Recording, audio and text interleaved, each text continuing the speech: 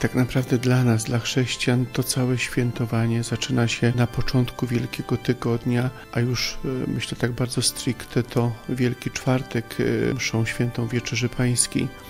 Najważniejsze święta chrześcijaństwa, święta, gdzie tak naprawdę stawiamy sobie pytanie i próbujemy na nie odpowiedzieć, po co człowiek żyje, co po życiu, czy, czy jest jakakolwiek perspektywa wieczności. I Pan Jezus, Syn Boży, ze swoją e, tajemnicą najpierw męki, śmierci, ale potem przede wszystkim zmartwychwstania, odpowiada nam na te nasze, takie myślę, fundamentalne pytania, że jest życie. Pusty grób przekonuje nas, że że Chrystus prawdziwie zmartwychwstał i wierzymy, że też zmartwychwstaniemy.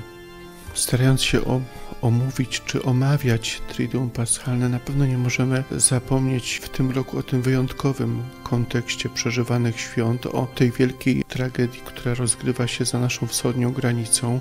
Żyjemy w niezwykle trudnych czasach, gdzie rzeczywiście bardzo blisko nas rozgrywa się jakiś koszmarny dramat, a my niejako uczestniczymy w tym dramacie poprzez fakt, że, że przyjmujemy osoby, które, które tam tak bardzo ucierpiały. Dlaczego o tym mówię? Bo to są święta, święta, gdzie rozważamy mękę, śmierć Pana Jezusa i myślę też taką drogę krzyżową, którą właśnie doświadczają osoby, ludzie tam na Ukrainie.